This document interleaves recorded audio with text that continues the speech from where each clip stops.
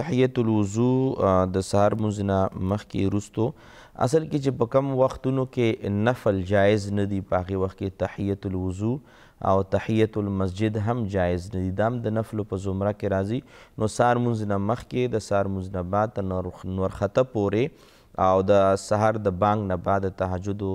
نه بعد چې کله بانګ وشي د هغې نه بعد د لمونځ چې ده نفل لمونځ جائز نه دی نو لهذا که چېرې یو کس دیو سهار کې جمعې ته لاړ شي یا سهار کې اودس وکړي او اذان شوی وي نو نفل به نه کوي ځکه چې په دې وختونو کې نفل جائز نه دی مازیګر لمونځ نه مخکې البته تحیت الوضو هم کولی شي تحیت المسجد څوک جومات ته ځي هغې لمونځ هم کولی شي خو که چېرې يو کس يي هغه مازيګر مونځ وکړي او هغې نه بعد اودس وکړي نو نه تحية المسجد کولی شي او نه تحية الوضو کولی شي ځکه چې په دغه وختونو کې د سحر مونځ نه مخکې وروسته